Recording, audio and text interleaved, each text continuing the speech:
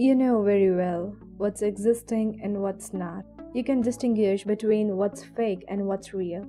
Or the movie you're watching is a fake drama, not reality. But for your brain, it's all real. For your brain, nothing is imagination or fake.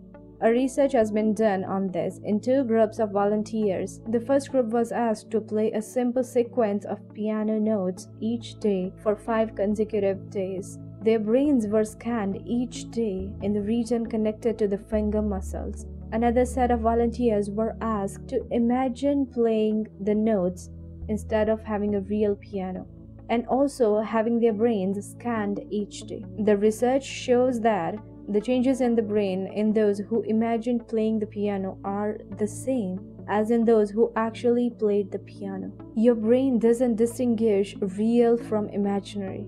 When your brain senses the danger, the stress response evolved in you to give you the ability to fight or flee. Chemicals including cortisol and adrenaline help kickstart the body, pushing blood towards the major muscles to give you the strength. This is the same thing happens when you watch a movie with some danger visuals. Your body is also producing cortisol and adrenaline and pushing blood around the body. The same process happened inside your body whether the danger is real or imagined. It means what you imagine to be happening is actually happening as far as your brain is concerned.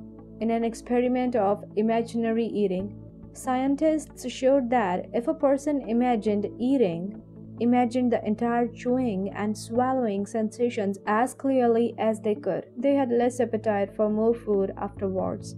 Just as the same would be true if you had actually eaten. This has obvious implications for weight loss strategies.